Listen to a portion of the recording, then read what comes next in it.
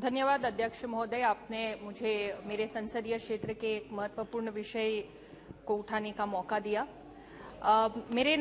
संसदीय क्षेत्र में नेशनल हाईवे 753 बी जो कि शेवाड़ी नंदुरबार तड़ोदा अंकलेश्वर ये हाईवे मेरे क्षेत्र से होके गुजरता है।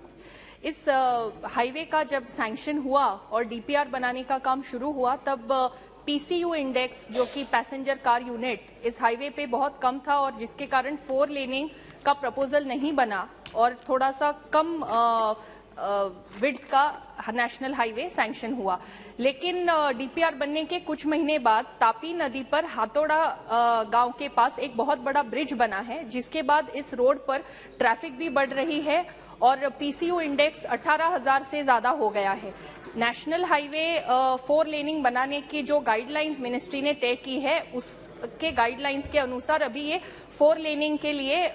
ये रास्ता हो सकता है और ये हाईवे पे रोज दो से तीन बड़े एक्सीडेंट्स होते हैं तो आपके माध्यम से मैं अ, केंद्र सरकार से यह मांग करती हूँ कि नंदुरबार और तलोदा ये जो स्ट्रेच है नेशनल हाईवे 753 बी पर इसका फोर लेनिंग सैंक्शन हो और जल्द से जल्द काम शुरू हो। धन्यवाद। श्री सुशील कुमार सिंह